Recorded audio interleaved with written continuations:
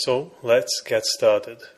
The first thing I want to do is to create a box over here, a small box, where I plan to import a portrait of a designer, as this article is about yacht design and about cruisers. So I want to get the designer into this box and note that currently this is neither a picture box nor a text box. One of the differences in QuarkXPress 8 is you don't need to decide beforehand the kind of content you want to import. It's a generic box. So if you import a picture, it will be a picture box.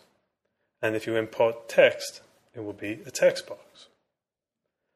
Faster and much more visual, and the way I like to work, is to actually drag and drop directly to the box. So let's go to the Finder, and here's the first picture I want to import in here. And QuarkXPress 8 actually supports drag and drop from any application that you can drag from. So it could be Adobe Bridge, it could be Extensis Portfolio, or in this case, the Finder. I'm just going to take this picture and drag and drop it onto the page. And note you'll see the QuarkXPress shows you the target box by highlighting the box that the picture is going to be brought into. Now before I release the mouse button, take a look at the tool that's selected. It's currently still the box tool. When I release the mouse button, QuarkXPress will pick the right tool for me so that it also helps me save a bit of time there. And the new tool is the all new picture content tool, which allows me to do everything I as a designer need to do with pictures. So of course I can resize my picture. You can see I can see the cropping area makes it very easy to do that. I can move it around. I can take a handle and change the dimensions. And you'll see in the measurement palette, I'm getting the effective picture resolution. So if I make changes on this image, I can be sure I don't do something to the resolution that isn't going to work. By holding down the standard shift key, I can scale it with the standard option key. I'm scaling from the middle. So let's get the picture the way we want it. I'm going to zoom in here so you can see better what I'm doing.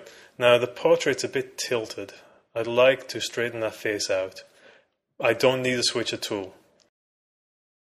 I just go to the handles of the image that I've been using for all my manipulations so far and note when I move my mouse out a bit, it changes to a rotation icon and I can simply turn the picture right around there. Hands on.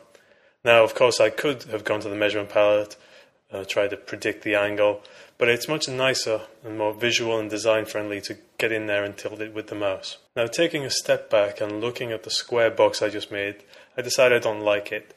Maybe it would have been better with rounded corners or beveled corners. Now, with previous versions, to do this, I would have to go to a different tool, create a new box, import the picture, or convert the box. We've made that a lot faster with QuarkXPress 8. All you need to do is go to the measurement palette, which you'll see at the bottom of the screen. And in the measurement palette, I'm going to select the corner type. I can either make this a beveled corner or a rounded picture box. It makes it very fast for me to visually make these changes without having to go back and remake any boxes. So I'm done there. That's the way I want it to look. I need to bring in some more portraits of designers.